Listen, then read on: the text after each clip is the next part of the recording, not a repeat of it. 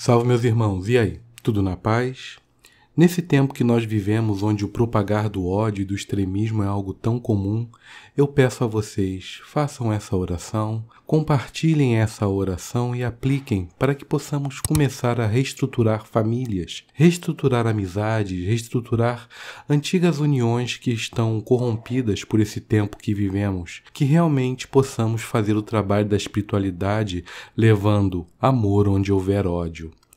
Muita paz muito axé e que a oração de São Francisco possa tocar os seus corações para que nós, todos como uma corrente de luz, possamos vir a estar levando o amor onde houver o ódio. Senhor, fazei de mim um instrumento da vossa paz. Onde houver ódio, que eu leve o amor. Onde houver ofensa, que eu leve o perdão. Onde houver discórdia, que eu leve a união. Onde houver dúvida, que eu leve a fé. Onde houver erro, que eu leve a verdade. Onde houver o desespero, que eu leve a esperança.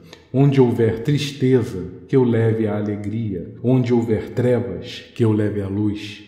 Ó Mestre, fazei que eu procure mais consolar do que ser consolado, compreender do que ser compreendido, amar do que ser amado Pois é dando que se recebe, e é perdoando que se é perdoado, e é morrendo que se vive para a vida eterna.